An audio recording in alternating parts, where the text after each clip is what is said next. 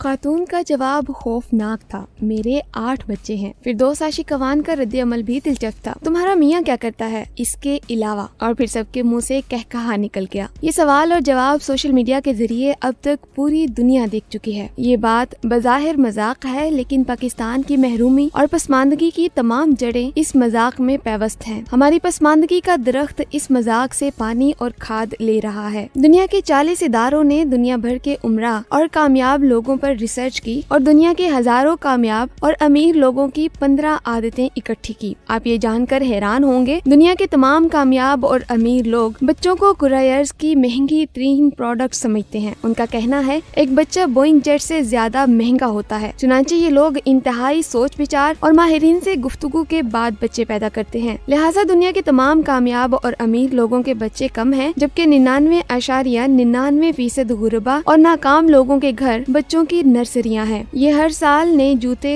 नए कपड़े या नई रजाई ले सके या ना ले सके, ये नया बच्चा ज़रूर लेते हैं। आप किसी कसीर, औलाद, गरीब शख्स से अल्लाह के इस करम की वजह भी पूछ लें। वो आसमान की तरफ़ देख कर कहेगा, बस जी, अल्लाह की मर्ज़ी थी। राजिक अल्लाह ताला है। वो मुँह बाद में पैदा करता है और उसके हिस्से का रिस्क पहले। ये बात दुरुस्त है। वाकई अल्लाह राजिक है। लेकिन बच्चों की परवरिश तो वालदेन की ज़िम्मेदारी है। तालीम, सेहत और इखलाकी तरबियत, ये ज़िम्मेदारी तो अल्लाह ने इंसान को दे रखी है और आज के जमाने में ये तमाम मसनूआत बहुत कीमती और बहुत महँगी हैं। आज के दौर में एक बच्चे को 20 साल तक बड़ा करने पर पाँच करोड़ रुपए खर्च हो जाते हैं। ये बच्चा रोज़ाना 100 गैलन पानी इस्तेमाल करता है। अगर आपके आठ बच्चे हैं तो आपको इंटरनेशनल स्टैंडर्ड के मुताबिक रोज़ाना हज़ार गैलन पानी चाहिए। ऑक्सीजन, खुराक, हेल्थ और एजुकेशन तो इसके काफ़ी बाद आती है। आप इसके बाद उसको रोज़गार कहाँ से देंगे? उसकी रिहाइश का बंदोबस्त कैसे करेंगे? और उसके लिए इंसाफ, आज़ादी राय और मेरा जिसम मेरी मर्ज़ी कहाँ से लाएँगे? चुनाचे बच्चा महज बच्चा नहीं होता। ये जिम्मेदारियों की तवील फहरिस्त होता है और ये ज़िम्मेदारी भी अगर बड़ी होकर आठ दस मजीद जिम्मेदारियाँ पैदा कर दे तो फिर दुनिया का क्या बनेगा? आप आज जहालत मिसकीनी और बीमारी को तलाश करना शुरू कर दें। ये आपको गरीबों के घरों में इकट्ठी मिल जाएँगी। गुर्बत, जहालत और बीमारी तीनों बहने हैं और ये हर वक्त वो घर तलाश करती हैं जहाँ लोग ज़्यादा और बेकार हों। ऐसे लोग, ऐसे घर इनका आइडियल ठिकाना होते हैं। लिहाजा दुनिया में आज तक जो भी घर और जो भी मुआशरा इनसे बच सका, उसने सिर्फ़ दो काम किए। आबादी कम रखी और लोगों को कारआमद बनाया। हमें बहरहाल ये हकीकत समझनी और माननी होगी। आपने कोरोना के दौरान अपने मुल्क के असल मसाइल जान लिए होंगे। गुर्बत गुर्बत और गुर्बत। हमारी आधी आबादी खते गुर्बत से नीचे ज़िंदगी गुजार रही है। ये दस करोड़ लोग हैं। इनकी दिहाड़ी जिस दिन ना लगे, ये उस दिन भूखे सोते हैं। अब सवाल ये है, ये लोग खत गुर्बत से नीचे ज़िंदगी क्यों गुजार रहे हैं? दो वजूहत हैं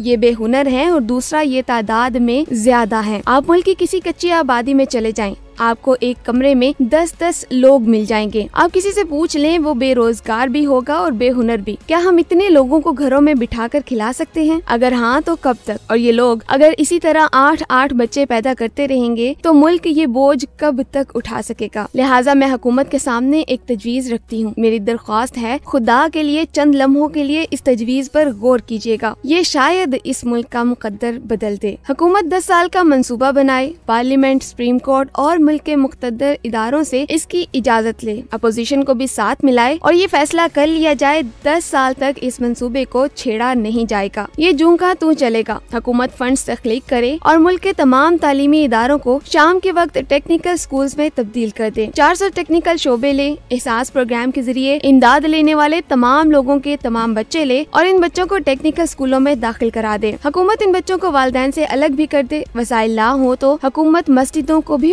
पनागाहों में तब्दील कर दे। ये उन बच्चों को शुरू में मस्जिदों में रख ले और फिर हॉस्टल बनाकर उनको वहाँ शिफ्ट करती रहे। टेक्निकल स्कूल में इन बच्चों को लिखना, पढ़ना, बोलना, हाथ धोना, नहाना साफ़ सुथरे कपड़े पहनना और खाने पीने का तरीका सिखाया जाए और उसके बाद उन्हें कोई न कोई हुनर सिखा दिया जाए। ये बच्चे जो ही अठारह साल के हो जाए, आप इन बच्चों को मुल्क से बाहर भिजवा दें या फिर लोकल मार्केट के हवाले कर दें। ये आसानी के साथ अपना और अपने खानदान का बोझ उठा लेंगे। लेकिन हुकूमत ये फैसला कर ले, ये किसी बच्चे को बेहुनर नहीं रहने देगी। ये माजूरों को भी कोई न कोई काम सिखाएगी। हम इस जमन में तुर्की, जर्मनी और चीन की मिसाल लेते हैं। खिलाफत उस्मानिया के दौर में हुकूमत यतीम बच्चों को अपने कंट्रोल में ले लेती थी। कि उन्हें आला तालीम और तरबियत देती थी। जब ये लोग बड़े हो जाते थे तो हुकूमत उन्हें फौज और ब्यूरोक्रेसी में जम कर देती थी। ये बच्चे क्योंकि रिश्तेदारी की इल्लत से पाक होते थे, उनकी तरबियत भी आला पैमाने की होती थी। लिहाजा ये खिलाफत उस्मानिया की रीढ़ की हड्डी बन जाते थे। ये ब्यूरोक्रेसी भी चलाते थे, निज़ाम अदल भी और फौज भी। उस्मानियों की फौज का मशहूर जमाना दस्ता इन्हीं यतीम बच्चों पर मुश्तमिल होता था। ये दस्ता उस्मानियों के 800 साल की तारीख में कभी नाकाम नहीं हुआ। इस्तंबुल तक उन्होंने ही फतह किया था। हम ये मॉडल ले सकते हैं।